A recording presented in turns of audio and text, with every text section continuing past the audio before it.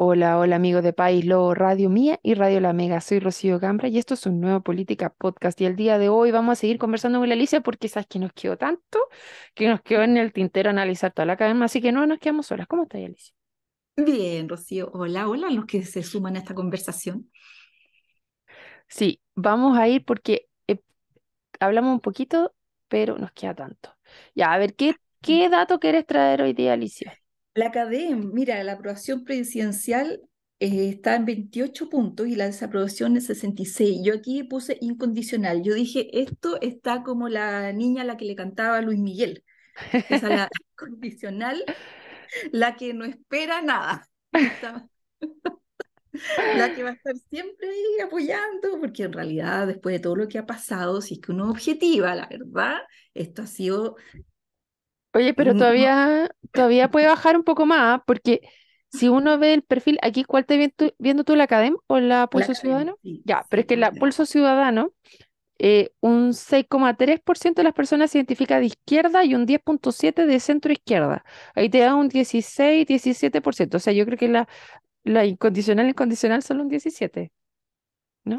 Claro, el fan club es el votante de primera vuelta, es ese que el, romántico que, que, ve, no sé, no sé qué ve, lo ve como, como que endiosa al presidente y le va a perdonar cualquier cosa. Y yo creo que esa es su base de apoyo. Y esto es muy interesante, Rocío, porque eh, como estamos en plena definición de lo que va a ser el proceso constituyente, eh, es muy decidor saber si es que esta coalición de incondicionales es la que aprueba o sea, la que, la que va a votar por apruebo dignidad o por el socialismo democrático. Y yo creo que son los que van a votar por apruebo dignidad.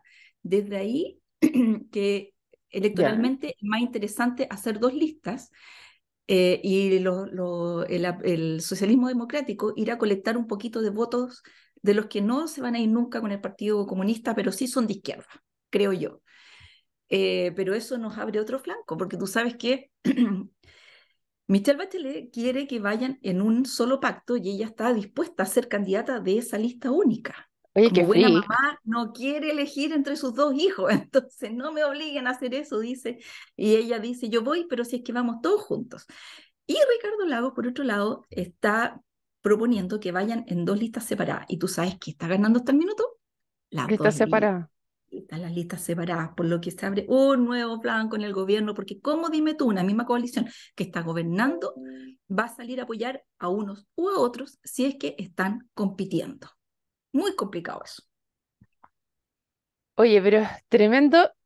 Aquí me abstraigo un poquito y es el tema de la capacidad generosa de la expresidenta Bachelet o de los liderazgos más femeninos de no arriesgar a ese nivel su capital político. O sea, yo creo que ella ya no tiene nada que perder, ha sido presidenta dos veces, pero mm, ella cree tanto en su capital político que salió en la franja del apruebo, siendo que la mayoría de los presidentes, de los otros presidentes, no, no tuvo ese protagonismo, ella sí lo toma y lo sigue, y ahora sale con esta propuesta súper arriesgada de decir, tenemos que ir juntos. Quizás es tanta su convicción de tratar de aunar o, de, del capital político que cree tener, que, que lo sigue poniendo a, juego. Me, me, me llama la atención. Sí, pero, pero resulta que justamente en el proceso anterior ella se la jugó, pero algunos dicen que no movió la aguja. Entonces yo me pregunto qué tanto capital político queda ahí, ah, más aún en evidencia respecto del mal desempeño del gobierno. O sea, si tener un 25% de aprobación no es precisamente que te estén aprobando tu gestión. Entonces, yo no sé qué tanto hace de bien a, a la conversación que ella insista en pegar agua y aceite esta cosa no pega. O sea, yo creo que está tratando de juntar a lo que es izquierda, izquierda y centroizquierda. Recordemos que ella fue la primera que logró liderar esta la nueva mayoría que iba desde la DC hasta el Partido Comunista. No, no ha habido otra figura que logre generar ese nivel de consenso. Entonces, es en base a eso que ella está tratando de, pegar este agua y aceite, que también era, era agua y aceite. Em, y, pero logró terminar su gobierno, em, pero entregarla para... Pero no, pero, no, lo entregó su misma coalición, entonces tampoco, tampoco le creyeron el proyecto a largo plazo. No, pues, lo entregó dos veces a, a Sebastián Mm, Piñera. mm. Oye, hay una, una mm, diapositiva la 50 en el en la Pulso Ciudadano que habla respecto de la confianza en el proceso constituyente. ¿Sabes qué a mí me llama la atención, Rocío? 55% de las personas que responden no tiene confianza en este nuevo proceso y es muy en línea con lo que dice la academia, que también tiene una cifra similar, lo que me hace pensar que este proceso parte con tres goles en contra, porque el Mm. anterior tenía un gran respaldo ciudadano, el 80% de las personas que votaron a favor de cambiar la constitución le daban el respaldo a esta nueva fórmula, a este proceso mucho más ciudadano, votaron mayoritariamente por candidatos independientes que no venían del mundo político, ya sabemos cómo terminó, y ahora este nuevo proceso se lo adueña la política pone los bordes, pone sus representantes, todavía no sabemos bien quiénes van a ser los candidatos, pero por los nombres que suenan son personas que tienen trayectoria política, o sea, no son personas que van a salir de, de, de, la cosa desconocida. Por lo tanto, es un proceso muy influido en este minuto por la política a la cual más del 55% de las personas con la cual no se identifican. Por lo tanto, este 55% de las personas que dice yo no tengo confianza en este proceso, ojo, ¿eh? que yo creo que va a ser muy difícil aprobar la nueva constitución por este factor. Yo no sé si esto va a permitir cerrar el siglo constituyente o vamos a tener que ir a un tercer proceso, ya que la mayoría de la gente te dice todavía sí es necesario cambiar la constitución.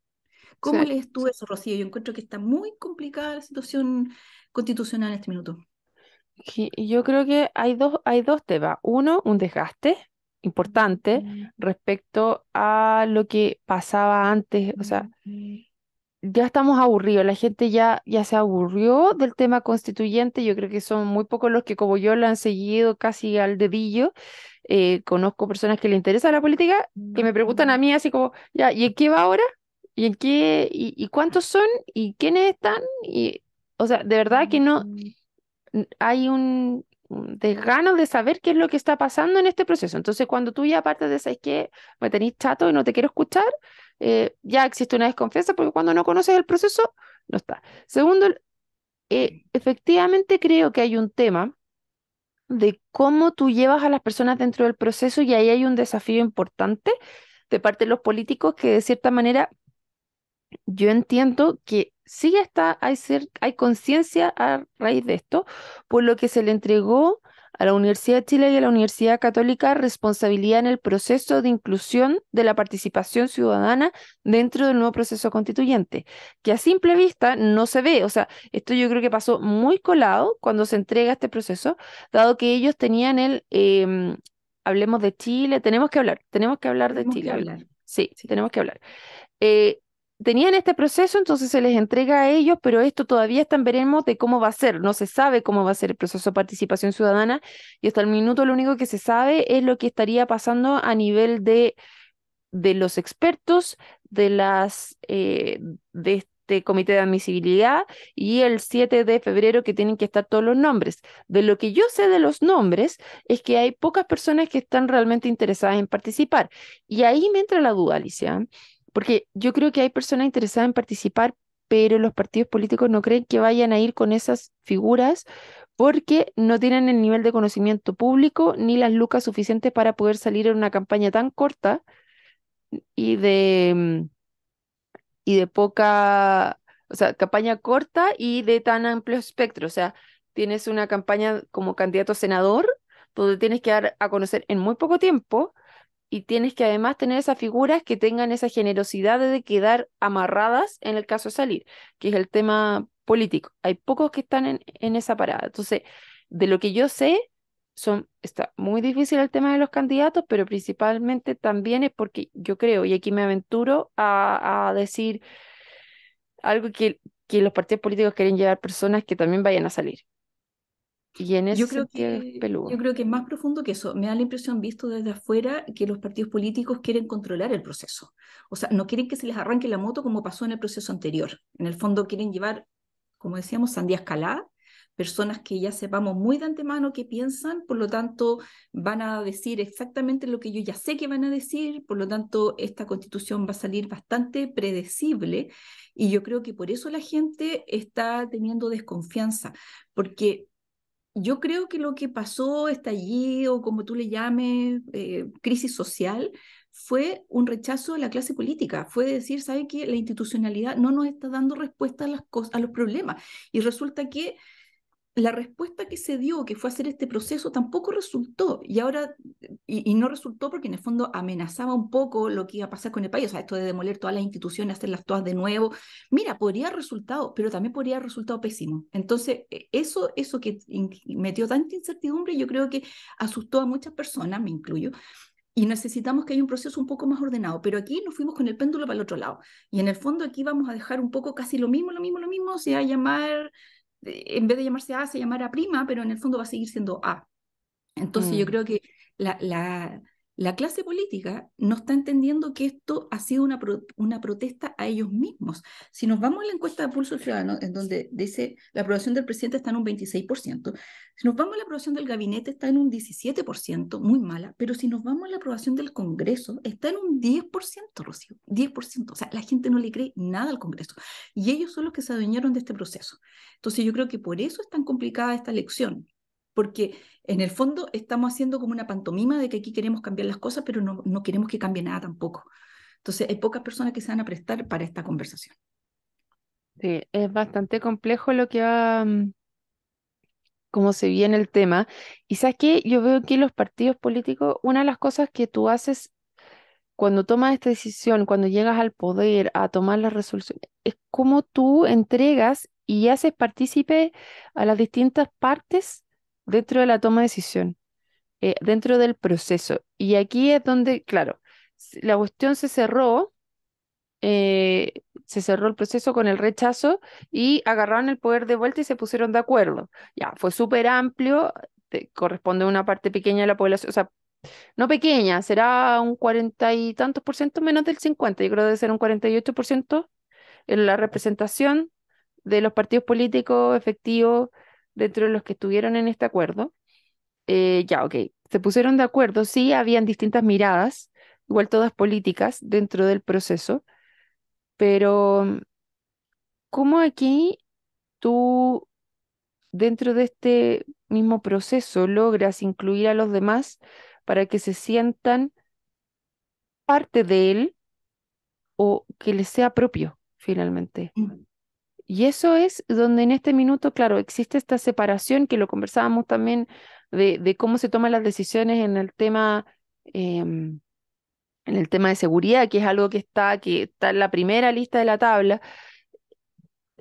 que no sabemos bien qué es lo que está pasando, no lo logramos entender. Entonces yo creo que hay un desafío importante que se suponía que el Frente Amplio venía con esta mirada más horizontal de transformación, de apoyo, de, comunicación, de inclusión, de como más asambleísmo para la toma de decisiones, pero que tampoco están dando en la nota para poder hacer sentir a las, a las personas parte de, porque es como yo te incluyo, pero o sea, yo, yo te escucho, pero no te pesco. Como ese, ese es el sentido, creo yo. Tal cual. Em, estuve leyendo el fin de semana el libro del Renato Garín, esa de cómo se incendió la convención, y sabes que siento que estamos como repitiendo exactamente la fórmula del fracaso que él por lo menos explica, él cuenta todo este proceso que él vivió adentro como especie de diario de vida y llevaba como un registro de todo lo que pasaba y contaba lo que pasaba por dentro, lo que no se vio muchas veces.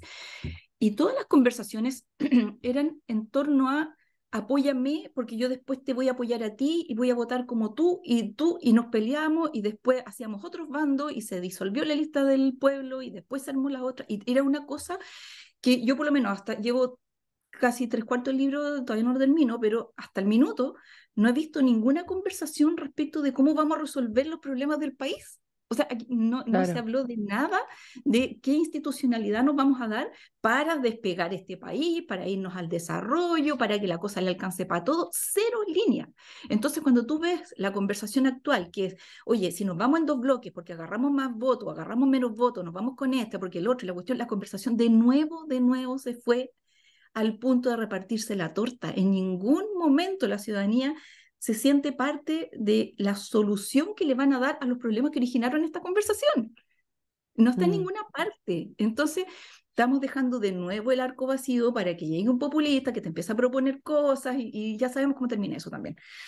Pero el capítulo constituyente me temo que no lo vamos a cerrar y mientras no lo cerremos, la inversión no va a llegar, porque la inversión necesita reglas estables, reglas que no hagan sentido a todo. No necesitamos estar incendiando el país cada vez que tenemos un problema social, no puede ser esa cosa. Tenemos que retomar los canales normales, pero con otra fórmula, que las cosas empiecen a pasar, Sí, o sea, yo de todas maneras, yo creo que podemos darnos una vuelta a ver si alguno de los expertos ya, porque eso va a ser muy interesante. ¿Cuál es la una de las cosas que de, que se necesitaba era que los expertos efectivamente pudiesen entregar una propuesta de la nueva constitución que sea bastante coherente. Ahora, ellos no tienen la palabra final, sino que efectivamente lo tienen un grupo de ciudadanos que, de nuevo, las características que van a tener estos ciudadanos que van a escoger em, son bastante especiales. Entonces, ahí tendríamos que ver qué pasa.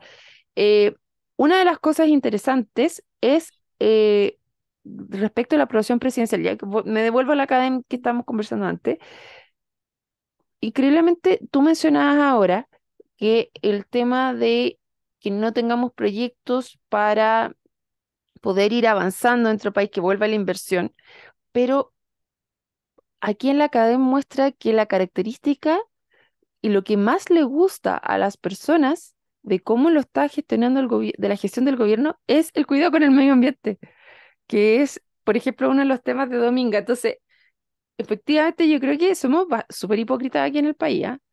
El, el, chileno es muy hipócrita en que te pide una cosa, pero te vota por otra y no sabe lo que quiere finalmente. Ahora, yo estoy súper de acuerdo en que efectivamente no cualquier inversión es factible, no todas las cosas, em, se, como que tienes un límite en el cual tenemos que trazar y no se puede pasar ese límite aunque te cueste un poquito más, no, no es a costa de todo, ¿cachai? Ahora, como tú lo mencionas, ese yo creo que es uno de los temas que tenemos que discutir dentro de la Constitución, ¿cachai? Pero, es un 56% el que apoya el cuidado del medio ambiente de, pero, Sí, o sea, el cuidado del medio ambiente cuando no haces nada es súper fácil. Pues a mí jamás se me va a quemar el pan si nunca hago pan.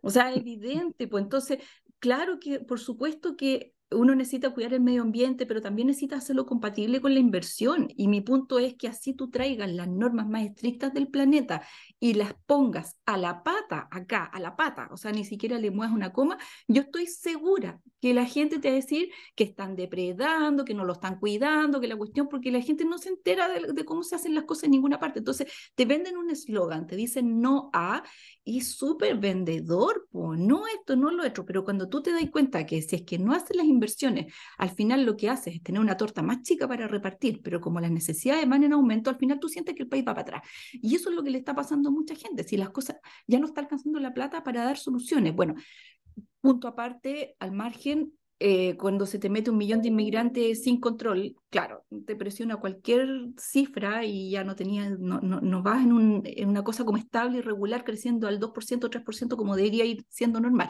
Ok, pero ya la tenemos y tampoco la estás gestionando. De hecho, sale como una de las últimas. 17, claro. 17% de la gente cree que el gobierno está controlando la inmigración. Está haciendo esa gestión bien. Está, haciendo esa gestión bien. Entonces, eh, empecemos a tomar esto como un todo. O sea, no podemos oponernos aquí, pero querer que las cosas pasen acá cuando las dos cosas están amarradas. Pongámonos de acuerdo. Hagamos bueno, esa conversación, pero ni siquiera esa conversación estamos teniendo. Claro, es que una, por ejemplo, que está muy relacionada a estas dos cosas del medio ambiente y el desarrollo energético, que cómo está, cómo en la encuesta, en la respuesta frente a la gestión en el desarrollo energético. Y aquí está parejito. 45 desaprueba, 44 aprueba. Entonces, claro, ahí no se sabe. Las relaciones internacionales, 55 desaprueba, 40 aprueba. Yo, yo encuentro que ahí la están poposeando demasiado ya. Eh, es que a mí hay una, hay una cifra en la academia que tiene que ver con los atributos del presidente que encuentro que son un poquito complejas, porque dice, cumple lo que promete, 28% cree que sí, pero 68% dice que no, que no cumple lo que promete. Que tenga capacidad para gestionar, 29 sí, 70 no. Que tiene carisma, es porque al presidente se le decía ya, ok, es mm. joven, no tiene experiencia, como de perdona, es su primer trabajo, como decían. Alumno en, en práctica. En, un chiste, sí. Pero, pero sí se le reconocía que tenía carisma. Pero esa cifra se deterioró del 77 cuando partió al 55 ahora. Y que era dialogante, peor todavía, del 71 al 44. O sea, si tú ya no tienes carisma y no eres dialogante, ¿qué eran tus atributos? Bueno, ¿qué te queda? Po? O sea, no bueno, por eso ha ido bajando. No gestión, entonces ha ido bajando. Lo que pasa es que tiene muy poco margen para crecer. Mira, es, es honéstico, ¿Mm? bueno, es honesto, ético y transparente. Eso subió de 38, que eran 22 de diciembre, a 43. Ahí partió con un 54, sí, ¿eh? y ahora van un 43. Por eso, Se cree, todavía le crea un poco. Sí, y que te genera confianza hasta en 31. Entonces, cuando tú tienes una persona al frente que no te mm. genera confianza, no te genera confianza, o sea, en el fondo no, no, no le crees. Es muy poco lo que tú puedes crecer. Oye, pero aquí esto igual está complejo, ¿ah?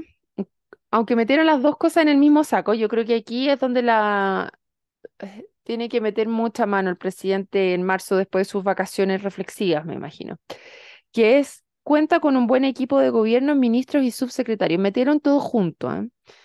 porque parte con un 57 cuando suma en marzo, 39 empieza a bajar, después en septiembre, la próxima medición 40, y no sé si el 23 de septiembre alcanza a agarrar el cambio de gabinete, y después baja a 29 mm. y 28. Y sabemos que los subsecretarios en el último tiempo han entrado más en la palestra porque se supone que los subsecretarios son sumamente técnicos.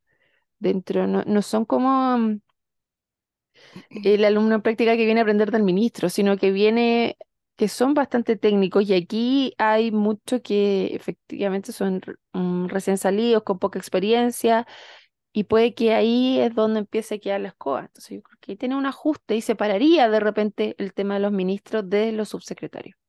No sé si tú piensas. Claro, lo preguntan todos juntos. Lo preguntan todos juntos, sí. El, el, el, problema es que ya existe un ajuste ministerial en donde se supone que sacaste como que la caricatura de los estudiantes en práctica y pusiste personas como de más tonelaje y sigue bajando la, la, percepción por lo menos de la gente respecto de que tenga un buen equipo de gobierno. O sea, siente que al final, eh, ¿qué más puedes hacer?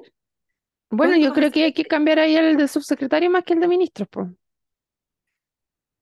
Eh, claro, pero ¿por qué los pusiste en, primer, en primera instancia y no, los, no pusiste a gente mejor en esos puestos que, como tú bien dices, son súper técnicos? O sea, eso sí tienen que haber venido de una selección más bien de currículum, eh, de experiencia. De partido político, pues. no, ah, son cuoteos políticos, los subsecretarios igual. Ya, si nos vamos al cuoteo político, entonces ahí es donde están 34-4 entonces, si es que van en dos listas, seguramente se van a, repesar estos dos bloques y van a decir, oye, la gente vota más por mí, me tienen más confianza en mí, así que ahora pon a mi gente aquí. Pero las dos sabemos, Rocío, que cuando tú tienes que armar equipos de trabajo, es muy difícil empezar a tener resultados en el corto plazo. O sea, esta cosa, para que empiece a funcionar una máquina bien aceitada, bien coordinada, se requiere mucho tiempo. Yo creo que ya, ya no fue, ¿eh? yo sinceramente.